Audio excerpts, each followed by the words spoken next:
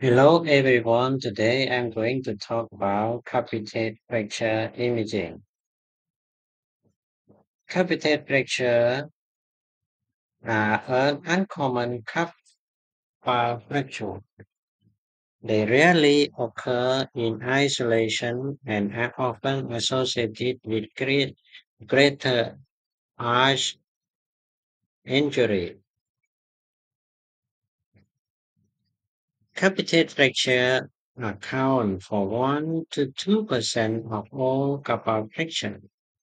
It is the second most common carpal bone injury in children. Capitate fracture are most commonly due to high energy hyperextension force. Capitate fracture will rarely occur in isolation. They can be subtle due to bony overlap and are most commonly transverse body fracture.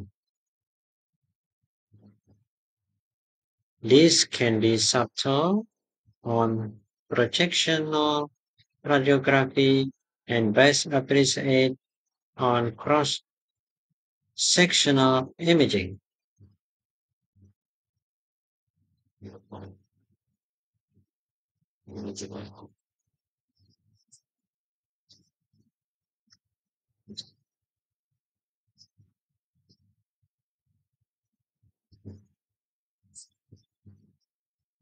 So these three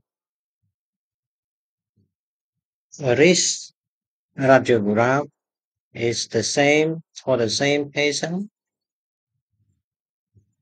as on the AP view.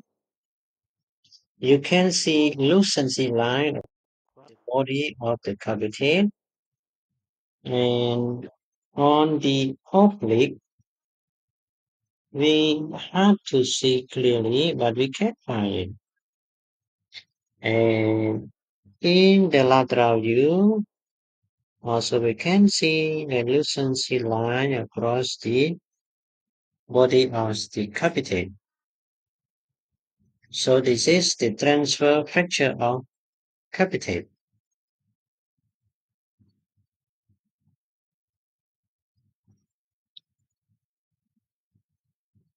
In the MRI, we also can be appreciate to see the fracture line. So like uh, we can see the oblique hypointense line, fracture line across the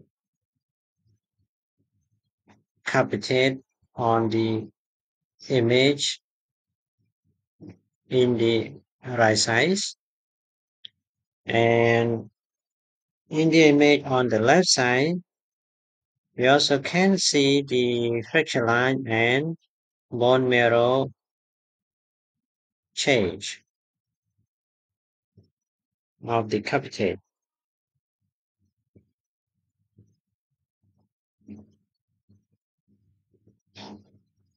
In general, conservative management is warranted for fracture that are non-displaced fracture that display a high level of displacement require surgery fixation.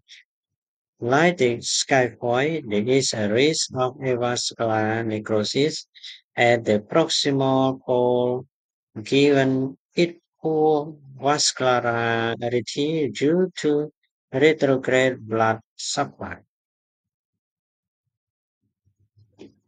Complication In very rare circumstances, during a scaphoid and capitate fracture, the proximal aspect of the capitate can rotate 90 degree into the sagittal plane. This is known as scaphocapitate syndrome, which could be better described as a trans scaphoid, trans capitate fracture dislocation that is used to result in an inversion of the proximal aspect of the capitate. Thank